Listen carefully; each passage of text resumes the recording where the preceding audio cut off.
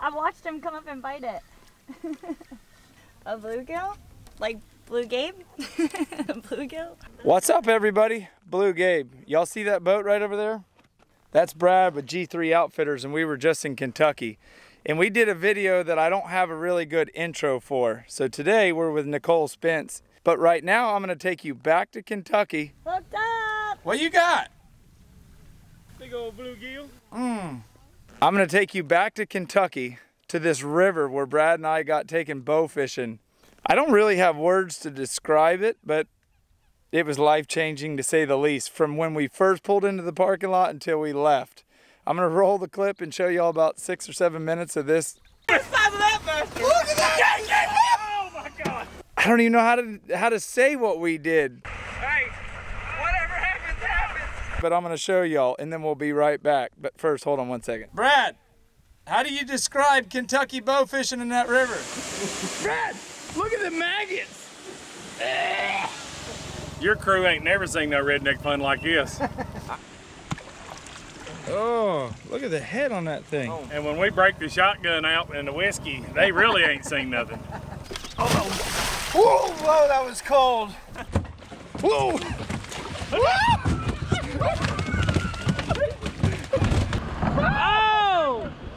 Oh, behind the boat. Oh! Fixing to be on. We're going fishing though. You're right, we are. You got him right in the head. What killed all those fish right there? Disease, floodgates, fast water. A lot of things kill them when they're this bad. Look at that. Ugh.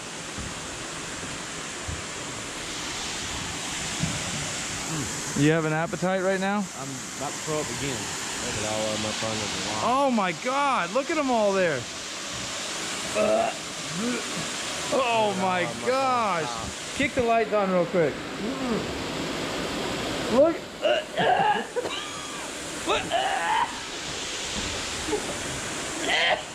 Brad, look at the maggots.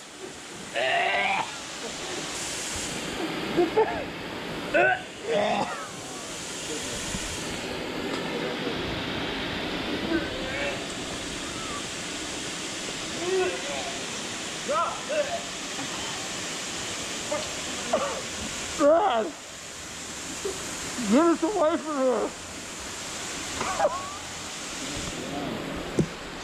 You guys, there was like two foot of maggots on those dead fish. Oh my gosh. Don't go back over there. Woo. Oh I was looking at them, I'm like, why do they look so weird? They were covered in maggots. Oh, oh I thought you said they didn't smell. No, not at all. Brad, aren't you excited to do a catch, clean, and cook on these things?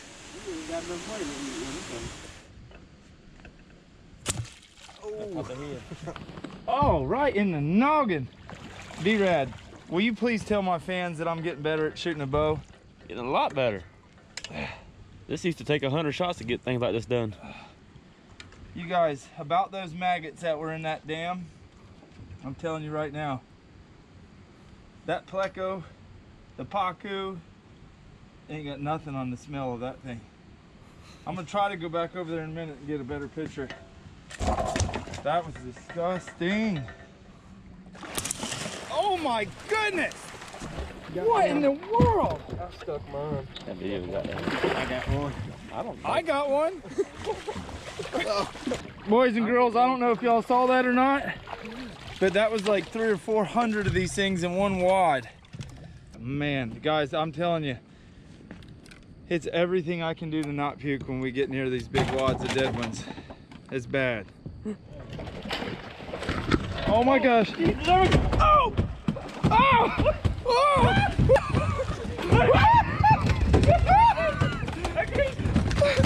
Dude, what are we doing? Oh my goodness. Brad, I never even shot. oh my goodness. You guys, I know the light's not that great, but this is the craziest thing I think I've ever done. All right, y'all, we're done for the night. We filled up a 50 gallon drum and they're still pulling them out of the back of the boat. Y'all look at this. Ah, Are you excited to eat them, Brad? I can't wait. So the one clip where you saw me screaming pinned underneath there, I was trying to get y'all a cool shot. I was right in here. And that's not the place to be when there's uh, like a hundred of these things jumping at one time. Y'all, for these lights, check out Outrigger Outdoors. I'll have the link in the description below. Look at that! Oh my god! hey! That's a 40 pounder! Oh my gosh! Yeah! There's the one to eat. Oh! Brad! These are water hippos. Gabe, he hit him in the back. Put him back in the water. Okay, we ready for live action. Let's go! Lock and load, boys. Let's roll with it. We about lost Timmy off the bat. Hang on, catfish. I got it. I got this. I need Larry. I don't need Timmy now. Come on, Larry. Holy cow. Oh my God.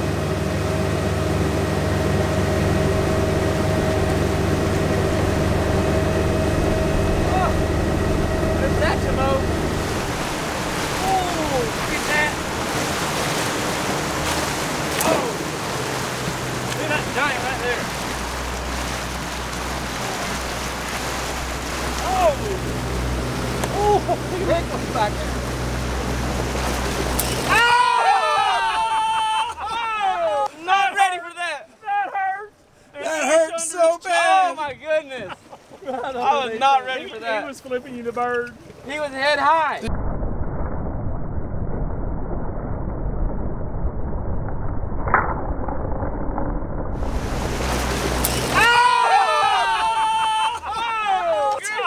Not ready for that. That hurt. That hurt! Oh, that's a good one. Big mama. We're under attack, Brad. All right, now. No, Gabe, he bounced off of you. It literally bounced off of him. No, you got You it. got him! Nailed it. Woo! Oh, Oh no! You All got right, y'all, Blue Gobby's up to bat. All right. He's gonna shoot too, but we're gonna see. And then we got the most exciting thing of the day coming. It's over there on the bank. We're gonna go get it in a minute. Y'all just be patient. There was. That was him.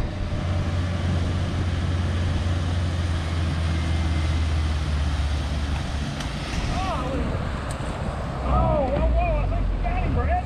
Oh, he's not on there. Oh, that's a good one. That's a magnum right there. Bro mag. Bro, put that down. Oh, good lord, All right, you guys, luck is on my side again. Let's walk back to the back. Now, Mr. Richard really loves to eat these big Asian carp. Absolutely. He loves to eat them. Look at that. Look at that. Good Nick Lord. Stanzik, y'all swordfish ain't got nothing on these Asian carp. I need the harpoons what I need. Big, big, big, big, in the motor. Watch the motor. We're good, we're good. I mean, a good qualified captain would have us like a gaff or something. When you're shooting fish of this size, you know what I mean? Well, I was thinking about that. I was kind of thinking about my deposit. Well, That's I when give get you the an gap out. IOU. Yeah, when the when the deposit comes, the gaff comes out of the drawer. That is a big one, That's a big fish. Jumbo. That is a jumbo. Woo! Get your hand in his mouth. I ain't trying to get my finger cut like Brad did. I mean, try to put it out his mouth, maybe. There's nothing in there. There's no teeth or nothing. Hey, wait a minute. I got some plant. Ah! That's one ain't coming off. He's in the meat. Here, Brad. You got got, him. You got him? Look at that! The size of that one. Woo-hoo! Great shot, Gabe. So the cool thing about these arrows, you unscrew the head and the prongs that keep them on actually then slide forward, just like so. And these fish are crazy slimy, so you better have a hold of them. And just like that, it's out. Hey, hey, hey, hey, look at this stuff. Look at that. Big old fat Asian carp. Look down his throat. I think that's a big head carp. A big head carp, sorry. Oh, in the mouth. Ugh. Look at that. So these guys are filter feeders. They swim around filtering the water. Hey, I got enough food for all of us to eat all week. We won't go hungry. It's just how we do it. Brad and I left my house in Stuart, Florida last night at 7 o'clock. We got here at 7.30 this morning. No sleep, no time for the weary. We're out here shooting carp. You clean my spot. I don't, want- I don't want to slip. Shampoo carpet. You gotta, you gotta have Stanley Steamer on on payroll. I mean, you own about $4 billion worth of real estate and we got a cooler for a. Well, you know, Brad told me this was a professional outfit. absolutely. Hey, All right. this bucket came from Fast Break in Tackle, Okeechobee, Florida. Chase Barsusi. Why ain't old Chase here right now? Chase is on honeydews. He's always on honeydews. Hello, Chase. That's right here in America. Brad, don't don't die. This is so dumb. Watch out!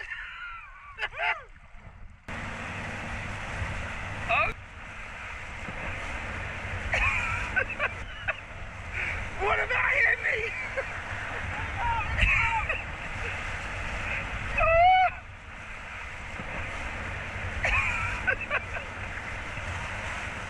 All right, well, I've already lost my $200 pair of glasses. Retake number two. Let it rip, tater chip. Oh,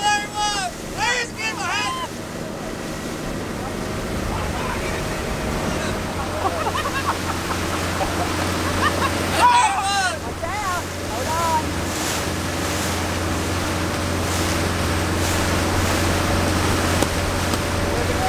Oh, jumbo!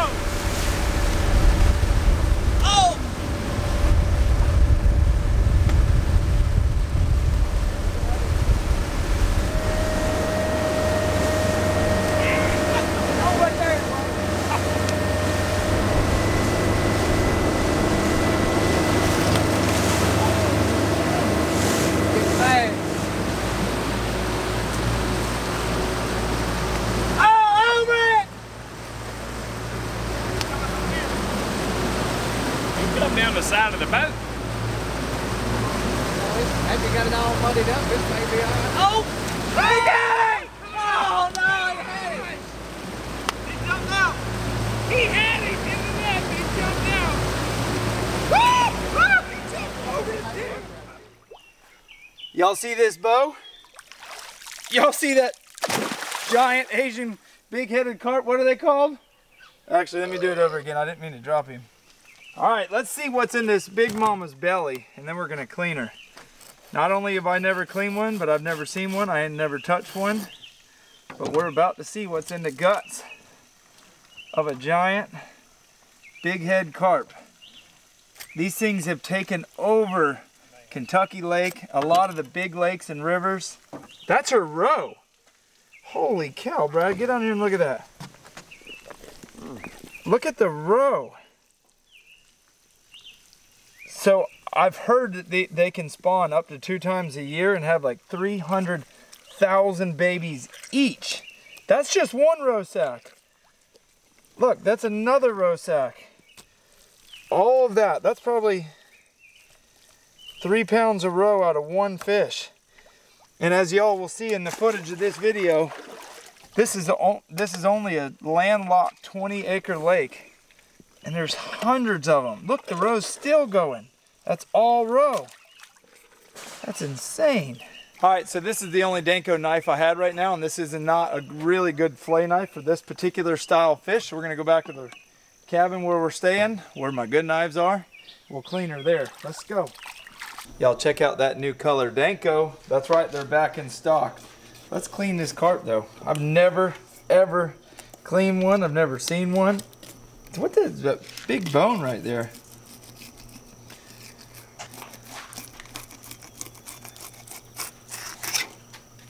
Look at it. The meat don't look bad. I sure am glad these guys up here in Kentucky like to eat them. Because I'm not super excited. Dang, there's a bone right there. Something serious.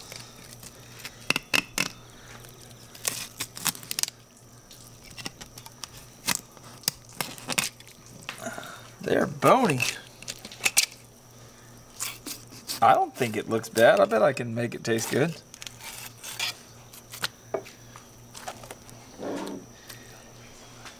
The texture of this meat, I can already tell. If I soak it in a little bit of milk, a little bit of vinegar, some garlic, I guarantee if we can fry it and it tastes pretty good. I'm not gonna say it's gonna be the best ever, but I bet it's gonna be pretty good.